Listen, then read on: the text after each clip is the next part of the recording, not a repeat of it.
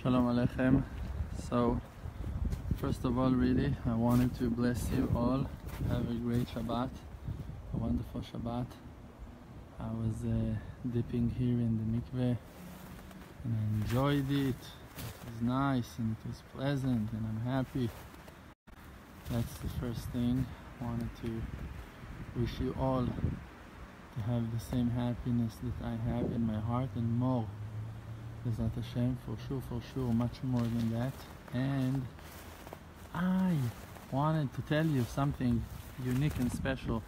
I spoke with you a few times about this thing, and now I think that I should write a book on that topic, and I'm just um, thinking about a way how to do that. So I think I'm gonna write a book about um, who Hashem really is, and uh, I mean to explain to us all who the creator is. What does it mean that he is the creator? What's the deal with the fact that he is the Almighty?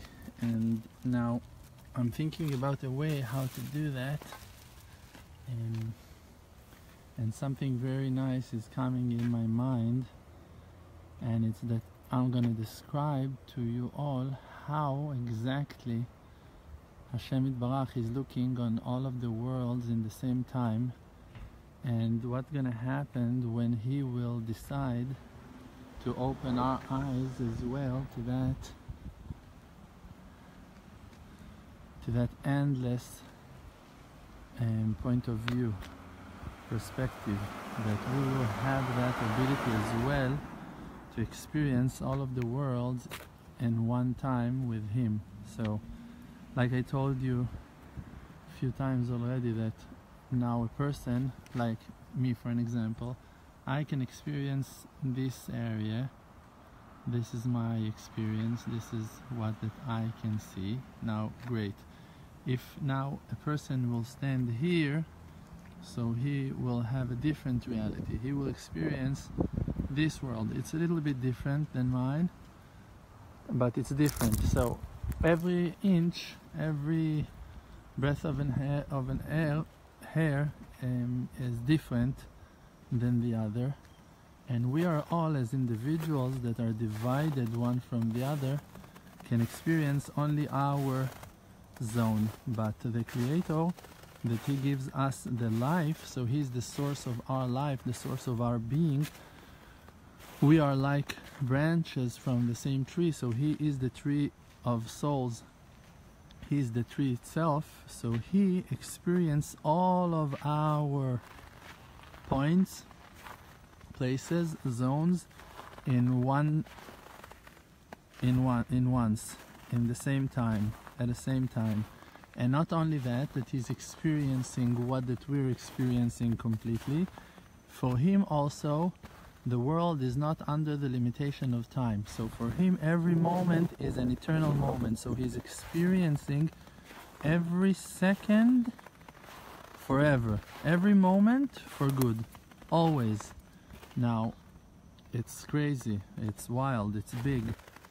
But when a person is focusing on his own inside and he's reaching his soul, he becomes to be who that Hashem wants him to be. He is getting into that um, tunnel and he starts seeing the light. He starts experiencing the worlds. And that's how uh, many righteous people we have many stories on big righteous people that they had divine spirit they, that they had the ability um, to know what's going on in other places, in other lands, in other cities, in other houses, in the thoughts, in the mind, in the heart of another person. They had an inner access to places that were sealed and blocked and covered from regular people with regular human eyes.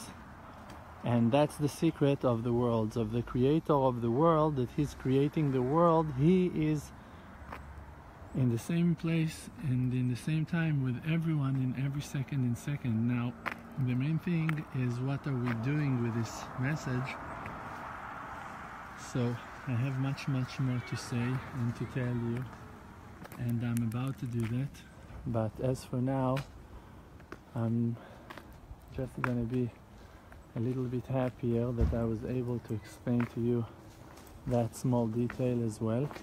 And I'm gonna run with my amazing branches.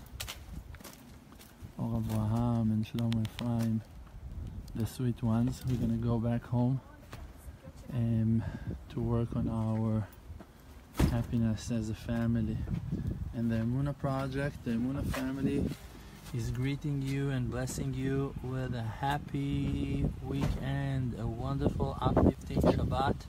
Satisfaction and that all of your prayers and requests will be answered. Amen